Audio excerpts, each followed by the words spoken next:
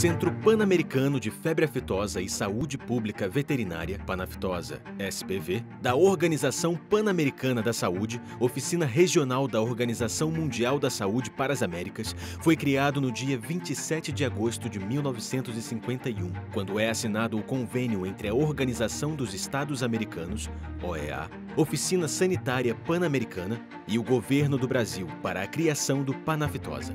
A Organização Pan-Americana da Saúde, OPAS, assumiu a responsabilidade técnica e administrativa para dito propósito. Desde sua criação, o centro presta cooperação técnica aos países, gerando conhecimento e ferramentas que dão apoio às ações de controle da doença com destaque para o desenvolvimento de vacinas e de métodos diagnósticos, o estabelecimento da rede sul-americana de laboratórios de diagnóstico, a criação do Sistema Continental de Vigilância e Informação dos Países, a caracterização epidemiológica de ecossistemas da enfermidade relacionada aos sistemas de produção bovina, em conjunto com um extenso programa de capacitação e desenvolvimento de recursos humanos, principalmente nos serviços veterinários dos países.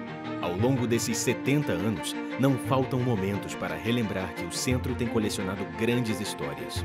Em 1988, foi aprovado o primeiro plano de ação do Programa Hemisférico de Erradicação da Febre Aftosa, FEFA, sob coordenação da OPAS e realização do Panaftosa, que levantou o desafio regional de erradicar a doença.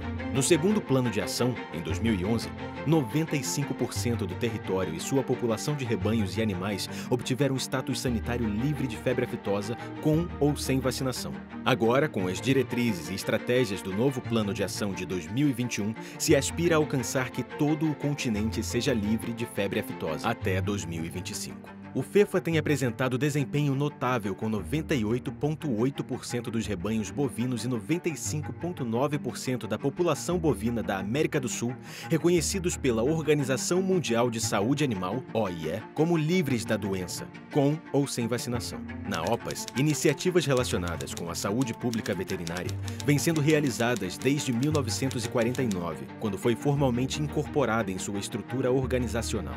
Atualmente, o Panaftosa lidera colaborativos estratégicos entre os países e setores público-privados, oferecendo cooperação técnica para a melhoria integral da saúde e qualidade de vida dos povos das Américas. A sua cooperação técnica está centrada na eliminação da raiva humana transmitida por cães, no fortalecimento e promoção dos sistemas de inocuidade dos alimentos, na contenção da resistência aos antimicrobianos, na vigilância e controle das zoonoses e na contenção e na erradicação da febre aftosa na região das Américas.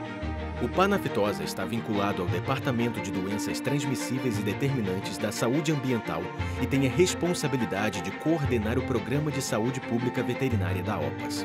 A cooperação do Panaftosa se alinha com os compromissos globais dos Objetivos de Desenvolvimento Sustentável da ONU, da Agência de Saúde Sustentável das Américas 2018-2030, das resoluções dos corpos diretivos da OPAS, entre elas as relacionadas com o Plano de Eliminação das Doenças para 2030 e as recomendações da Reunião Interamericana Ministerial de Saúde e Agricultura, RIMSA.